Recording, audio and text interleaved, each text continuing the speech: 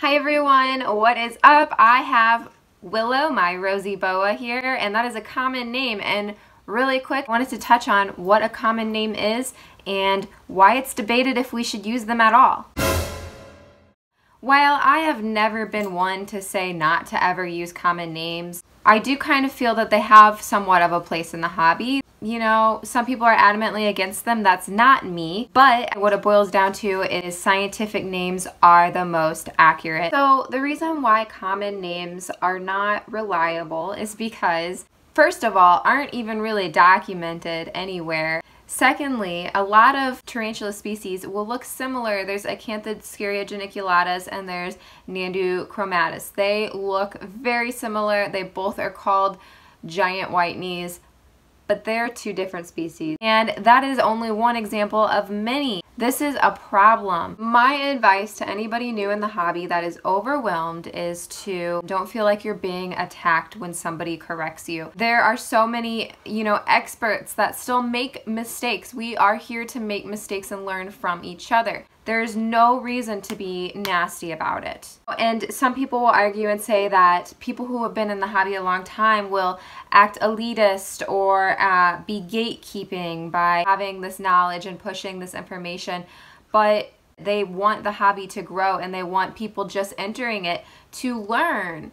And as somebody who's new to a hobby, you would expect them to want to learn as much as they possibly could about what they're interested in, right? And part of the reason why I'm bringing this up is because a very good friend of mine has been scrutinized. He's been labeled an elitist or a gatekeeper because he pushes scientific names he really likes the scientific aspect of the hobby. He is a great source of information. He has guided me from pretty much the second I entered in this hobby and not just me, but many other beginners as well. That gentleman is David from Eerie Arachnids. He really helped me learn. Part of the reason why I feel like I am where I am at already in the hobby is because of him and his willingness to tell me his mistakes, his willingness to correct my mistakes. And the problem here is that some people take criticism very personally. It's like you can't correct somebody without them accusing you of being this elitist. If you don't want to learn this information, only hindering yourself. Am I saying that using common names is going to result in that? No, but what I'm saying is accusing other people within the community who know more than you and have much more experience than you and tuning them out and saying, la, la, la, la, I'm not listening, I already know everything, that is going to hinder you in the hobby. Part of the fun in the hobby is the community and making friends and getting to know people and sharing information and learning from each other. And, you know, buying and selling and trading, you know, tarantulas, breeding them. This is all fun aspects of the hobby. And if you want to go buy your rose hair from PetSmart and keep it in a box and have a rose hair for the next 15 years and just, you know, call it a rose hair, name it Rosie, whatever, you know, that's fine.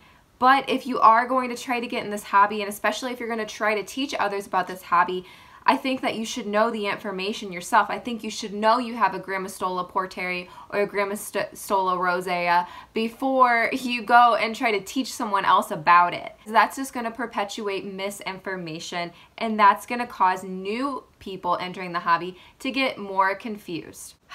So sorry, I didn't want this to turn into a rant, but it's just very frustrating when somebody comes into the hobby and they already know everything. And I can admit that I don't know very much at all. I am here learning with you guys and to show people, you know, mistakes as they're made, um, experiences as they unfold. And I just don't believe that people should be scrutinized for trying to provide useful information to those new people entering the hobby. Isn't she sweet? Sweet. Oh my gosh, I just seriously just love this girl. Okay, so anyway, I hope that you guys enjoyed this video and I hope that it portrayed what I wanted to and that's it's not okay to attack people in the hobby for using common names and it is not okay to attack people in the hobby for using scientific names. What we're here to do is to learn from each other, to make this hobby better, and to help people get the right information. I just want that to be the message you get from this video. I hope that's how it came across. Please leave your comments down below. I really would like people to contribute to this discussion. Even if you disagree with me, I want to hear you out. I want everybody to get along. and I think it's possible. So, um, you know, that's my piece. I've said it and I've it's time to, to just move on. Anyway, I have a really awesome feeding video for you guys. I'm currently editing. I think you're gonna like it and I will see you guys then.